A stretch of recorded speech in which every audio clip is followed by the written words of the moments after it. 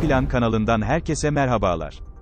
Bangladeş'in Ankara Büyükelçisi Mosud Menon, Türkiye ile Bangladeş arasındaki ikili ticaret hacminin yakın gelecekte katlanarak artacağını söyledi. Büyükelçi Menon, Bakan Mevlüt Çavuşoğlu'nun Bangladeş ziyaretinin iki ülke arasındaki ilişkilerinin geliştirilmesi açısından önemine vurgu yaparak, Sayın Çavuşoğlu yoğun programına rağmen ziyaret ettiği Bangladeş'te, Başbakan Şeyh Hasina ve Dışişleri Bakanı Abul Kalam Abdul Momen ile ikili ilişkiler açısından oldukça verimli toplantılar gerçekleştirdi, ifadesini kullandı. Çavuşoğlu'nun daha önce 2018'de Arakanlı sığınmacılar krizinin baş göstermesinin hemen ardından ülkeyi ziyaret ettiğini hatırlatan Menon, Sayın Bakan'ın ülkemize bu ikinci ziyaretinde ise Arakanlı mültecilerin yanı sıra ekonomik ilişkilerin geliştirilmesi konuları da ele alındı. Umuyorum Türkiye ile Bangladeş arasındaki ticaret hacmi çok yakın gelecekte ikiye katlanacak diye konuştu.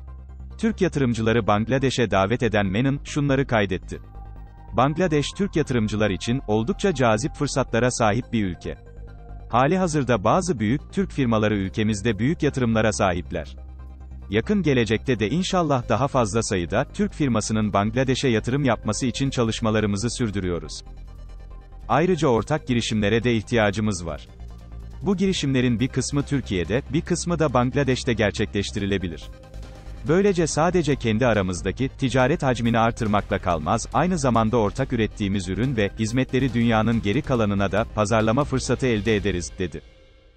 Yeni tip koronavirüs salgını döneminde, dahi iki ülke arasındaki ticari ve ekonomik ilişkilerin artması gerektiğinin altını çizen Menon, salgın dolayısıyla ikili ticaret hacmi hedeflerimizi ertelememeliyiz. Yeni normale uygun olarak faaliyetlerimize, hız verip ikili ticaretimizi büyütmeliyiz, dedi. Türkiye'de ve dünyada olan olaylardan haberdar olmak için kanalımıza abone olmayı unutmayınız, esenlikle kalın.